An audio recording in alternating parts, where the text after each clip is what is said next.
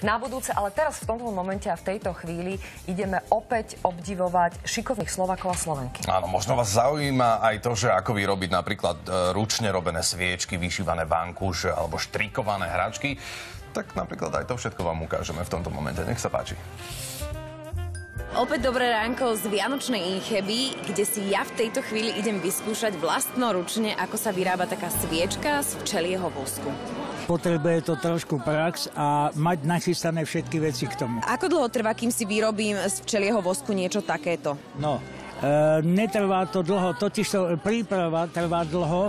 E, toto stočenie to už je len tá čerešnička na dorte, jak sa hovorí. E, keď už má človek nachystaný e, kompletný materiál, namočené knoty a narezané po prípade tie medzistienky alebo plásty, lebo to je materiál, ktorý sa dáva do ramikov včelám do úla. Hej?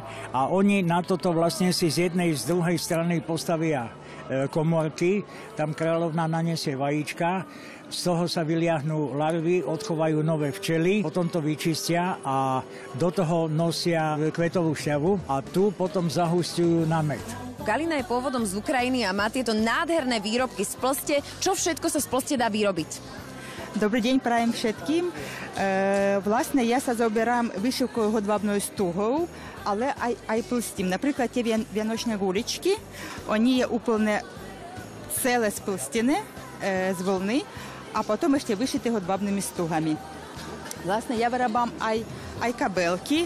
Kabelky sú plstené a potom ešte vyšívam aj šále, aj šatky.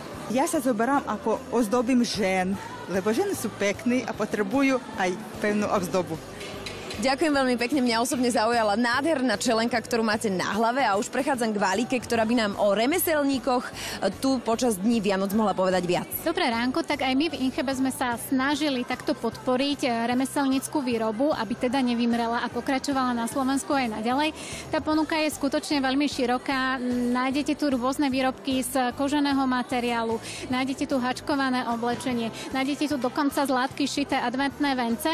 A čo je veľmi zaujímavé, presne tak Lenka, ako si si mohla vyskúšať aj ty, tak aj návštevníci nášho výstaviska môžu prísť a vyskúšať si, ako sa tieto vecičky naozaj robia. Ďakujem veľmi pekne, bola to veľmi milá skúsenosť. Pozývame vás na Dni Vianoc a prajeme naďalej pekné ráno.